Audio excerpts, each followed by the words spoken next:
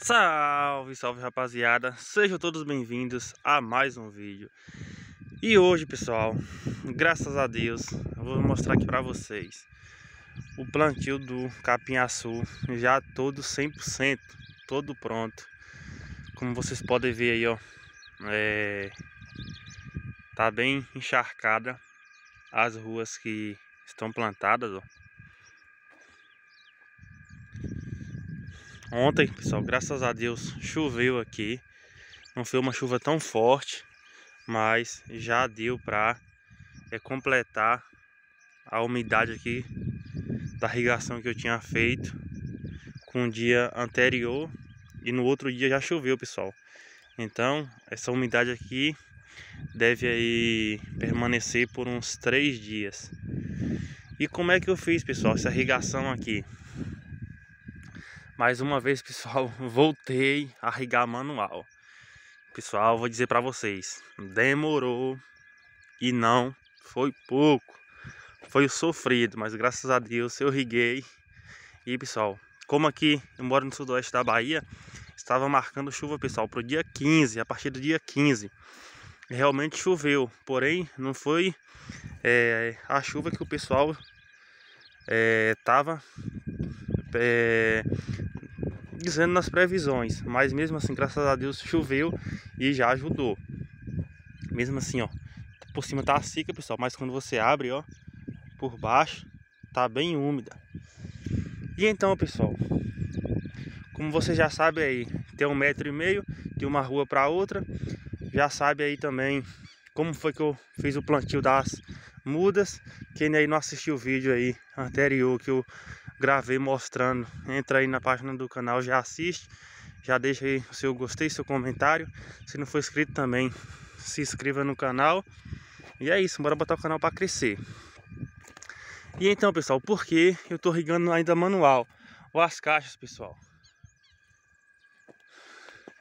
E porque também eu plantei, né, pessoal, sem tá aqui com as mangueiras. Então vamos a esse ponto, primeiro ponto.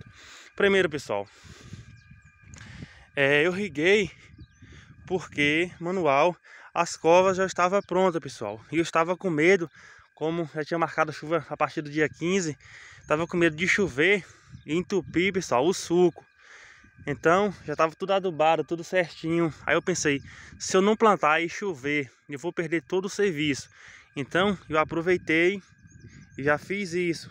Já plantei as mudas. E porque eu riguei manual. Porque, pessoal, aí eu ainda não pus é, aqui as torneiras e nem tenho as mangueiras.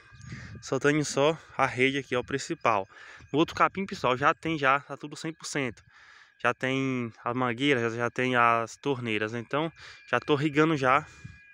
Só é chegar, abrir aqui o registro principal, que é cá em cima. E Aqui, chego aqui, abro as torneiras das ruas e vou rigando. Já aqui não, pessoal. Mas eu tenho fé em Deus, pessoal, que vai vir chuva aí o mais rápido possível. Essa é a minha fé que eu tenho e eu vou acabar esse problema. Então, por essas duas caixas aí, pessoal, para mim tá regando com chuveiro. Desculpe, pessoal. Mas a minha intenção aqui mesmo, pessoal, é mostrar aqui o plantio já concluído, tá 100%. Como eu prometi para vocês, que eu ia estar tá mostrando cada passo a passo aqui, desde a preparação da terra, da adubação, da, é, o suco já feito, tudo isso eu cumpri. E agora, concluído, estou mostrando para vocês. Tá aqui 100%. Essa área aqui, pessoal, eu não medi essa área do, do capim, mas segundo meu irmão, disse que dá quase é, um hectare, eu não sei, porque eu não medi. Mas eu espero, pessoal, que toda essa área aqui, ó, dê para cuidar de de vários gado, pessoal. Porque assim, pessoal, também minha intenção, eu vou começar a cortar daqui de baixo. Quando eu chegar no final, pessoal, da última rua aqui de cima, vou mostrar aqui para vocês. O meu pensamento, né? Eu não sei se vai dar certo. Eu torço para que dê certo, pessoal. Quando eu chegar nessa última rua aqui, pessoal, ó, que é essa daqui, onde tá essa, essa negócio verde aqui, ó. que vai.